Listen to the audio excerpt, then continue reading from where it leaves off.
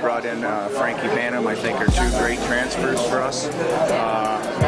We uh, missing Jerry McCarthy on defense, so we did, really didn't make too many changes. We're going to try to keep the same continuity that we that we've been working on from last year into this year. Uh, yes, and this team uh, it looks like they have a lot of new faces. Brought back some local guys with the two Rodmans, and uh, also uh, JP Pare, who was here before, and Ratzinger. So, you know, I think I think you know they got some new faces, but we'll just have to see how everybody integrates themselves through the course of the season.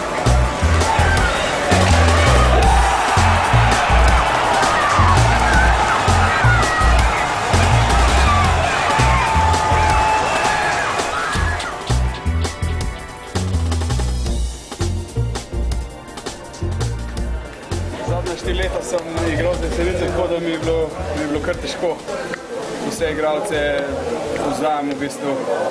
In, uh, ampak enkrat, ko se je tekma začela, pa to sem v bistvu čisto domislil si to in vse in uh, odigral normalno tekmo, sploh se nisem preveč obremenjeval s tem sploh, zato ker je to prijateljska tekma in uh, v bistvu šele začetek. Tako da mi se pripravljamo na ligo in ko se začne liga, takrat je prva važna tekma, da takrat je pa vse priprava. Glede fizične priprave je dosti podoben. Tudi v Ljubljani imamo, smo imeli enega zelo dobrega kondicijskega trenerja. Tako, na samem ledu pa tudi dosti podoben no, trener.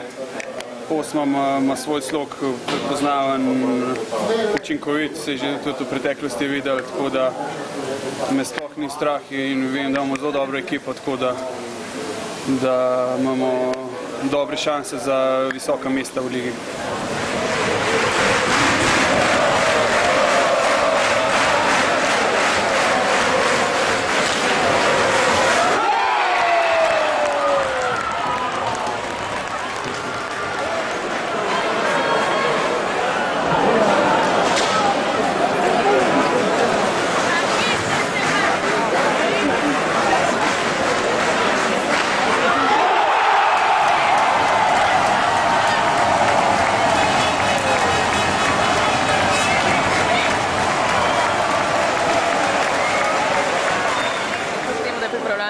Pripravljalna tekma, pa vseeno rezultat neki pomemben. Ja, sigurno, se pravi, sploh zaradi gledalcev, pa v končni fazi tudi zaradi nas. Saj, um, fajn je zmagati vsako tekmo. Nekaj pričakovati, da ste kaj stepali, to je že kar neki tak standard. ne vem, kaj so oni pričakovali, saj pač, če bi iskrca preskočila, bi se tudi stepala, ampak uh, danes ni in uh, pač mogoče drugič.